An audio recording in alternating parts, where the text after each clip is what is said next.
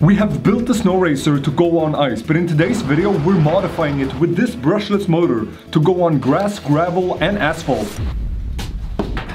So I brought in the old snow racer from this video. There are aluminium extrusions, hinges, rods, angles that we can reuse, so I took it all apart. Also my thumb. Ah. 3D printing a even larger tire would take ages, so I decided to use the rear tire from this ATV. But before working on the tire, I removed the old brushless motor and here's the size of it. But this is the new motor and it's absolutely massive. This is a $800 electric motor that based on these numbers could straight up fly a person. Instead of a propeller though, we are going to use a 52 teeth rear axle gear and a 11 on the motor, which means the motor has to spin almost 5 revolutions for the tire to spin 1. The tire was in really bad shape, so I decided to only use the rim and I designed 3D printed hubs that would hold the drive gear and bearings. So before replacing the tire, I let the air out and got one bead off almost instantly.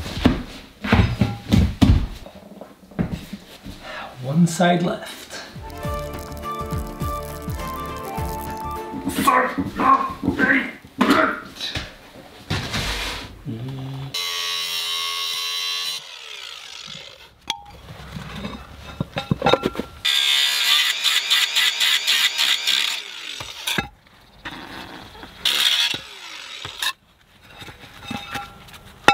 I spent hours trying to get the new tire fully on the rim and here's me realizing it's not gonna happen. But then the tire was magically on, just like how I could flip it and now the rim was black. Here are the two 3D printed hubs that holds the gear and the bearings.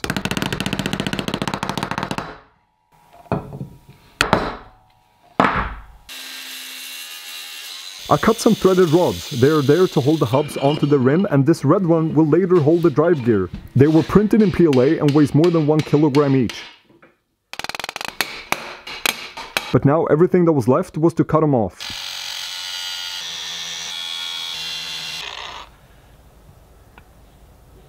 I added some blue thread lock since it would probably vibrate quite a bit. Now I could add the steel axle through the bearings and the drive gear with long threaded rods going through the entire assembly.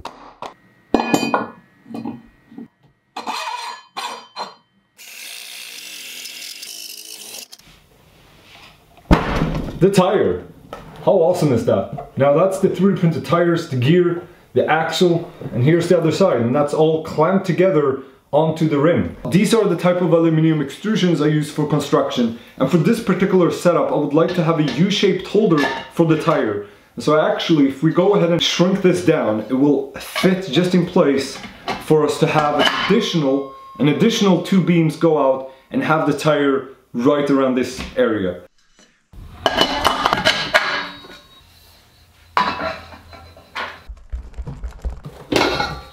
These are pillow block bearings. I can slide on top of this aluminum piece to tighten the chain, but they didn't quite match the shaft size, so I had to improvise. For the motor connectors, I used crimp cable lugs, followed by a series of Canadian moose sounds.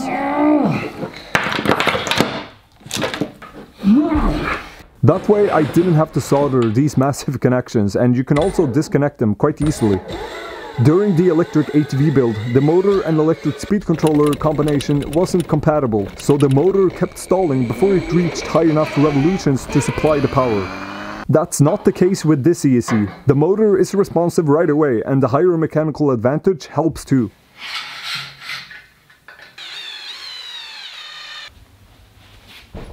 Now I could tighten the chain and secure the bearings and test it for the very first time.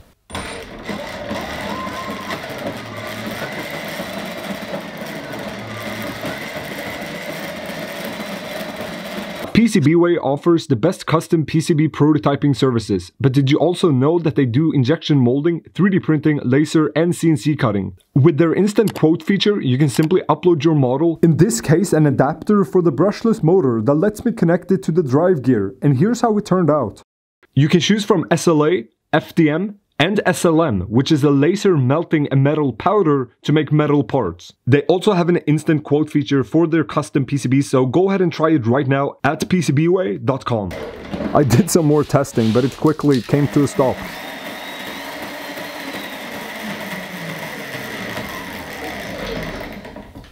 Jag ska tänka på grannarna älskling.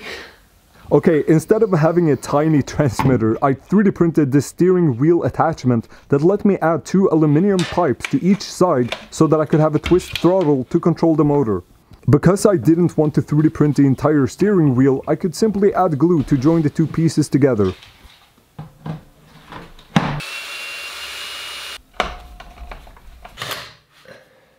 Then I added a seat and here's the container for the batteries. With everything in place we could finally take it outside and ride it for the first time.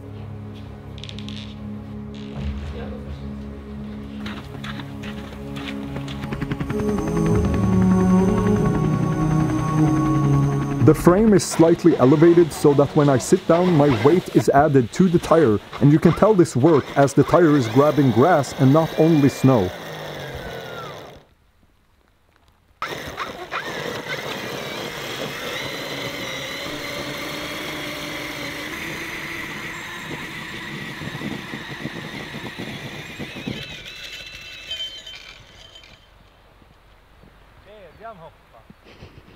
Clearly this didn't work great and it probably just needed studs. Before adding them I really wanted to try going on gravel and grass. Water damaged a circuit however and I had to drag it all the way back. Det är precis där du inte ska filma. Jo. Jag vill inte veta sanningen. So I added a 3D printed shield and waterproofed the circuit. I also 3D printed a container for the electronics to hopefully protect it. And now everything was working again so I could try it on gravel.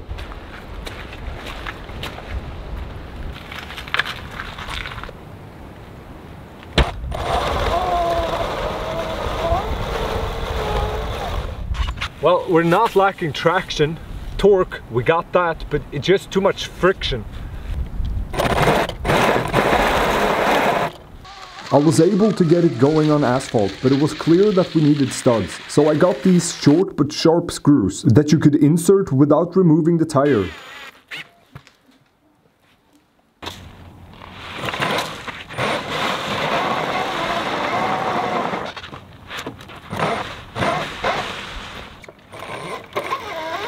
It was disappointing to see that it didn't do much on gravel or grass, but then I tried going on the road.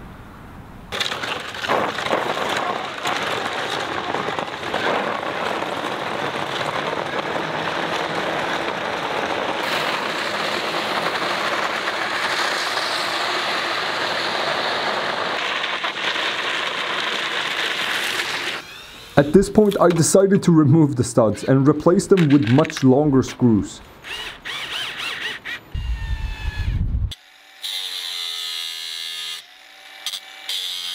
I cut 115 screws 2 centimeters long or about 1 inch. Ja, ska vi se om vi kan dö idag.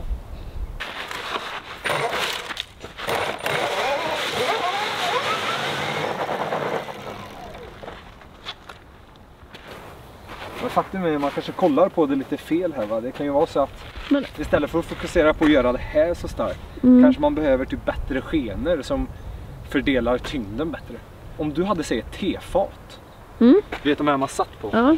och ett rep och jag drog dig, då hade det inte varit så svårt. Men vi får väl testa gräset också.